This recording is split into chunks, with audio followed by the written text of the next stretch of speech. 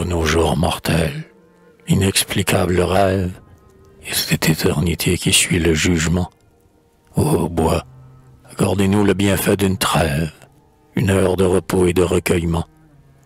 Chez nous, à l'abri de vos temples sévères, méditant des vertus que le siècle proscrit, et qui firent l'honneur du destin de nos pères, une dernière fois les revivre en esprit.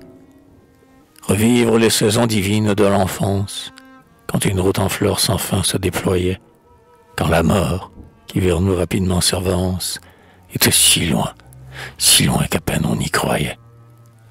Quand ceux qui nous aimaient d'une tendresse unique, dessus et dessous terre aujourd'hui dispersés, préparaient l'accueil du foyer domestique, prenant leur part des maux dont nous étions blessés.